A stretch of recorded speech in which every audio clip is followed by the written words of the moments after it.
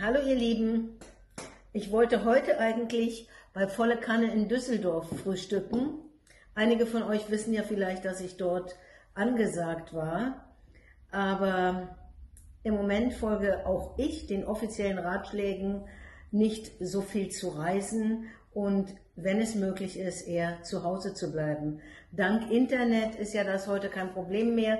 Ich kann also trotzdem mit euch reden und möchte als erstes mal sagen, ihr seht es noch, hier stehen noch ein paar Kleinigkeiten vom Geburtstag, auch etwas Kuchen ist noch da. Ähm, ich möchte mich als erstes mal herzlich bei euch bedanken für die vielen Glückwünsche und für die vielen Geschenke. Ja, was kann man jetzt tun, wenn man mehr zu Hause ist? Ich zum Beispiel höre jetzt Musik, zu der ich nicht kam, sie zu hören. Ich lese Bücher, zu denen ich nicht kam, sie zu lesen. Und da zum Beispiel habe ich mir jetzt die Blackbox von Rio Reiser, die ich schon eine ganze Weile habe, mal vorgenommen.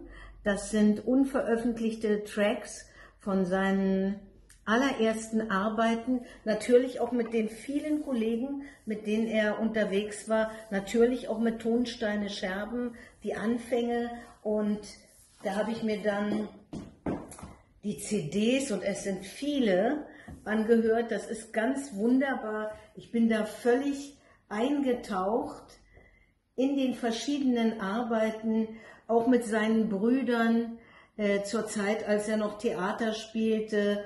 Und ja, viele von uns wünschen sich ja vielleicht gerade in der heutigen Zeit einen König. Es gab einen König von Deutschland und der hieß Rio Reiser.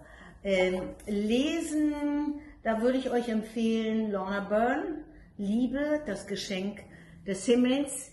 Ich glaube, ich muss es nicht näher erklären. Wenn euch langweilig wird, meldet euch, teilt euch mit.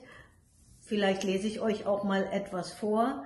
Und äh, ja, vielleicht macht ihr es wie ich mit dem mit der Blackbox von Rio bei mir gibt es ja auch eine Box, die ist zwar nicht black, aber vielleicht könnt ihr da so eintauchen, wie ich bei Rio eingetaucht bin in diesen Tagen. Ich fange auch wieder an, Gitarre zu spielen und mich da ein bisschen weiter zu bilden. Das sind alles Sachen, die sehr, sehr schön sind. Ich wünsche euch alles Liebe, eine gute Zeit im Namen der Liebe.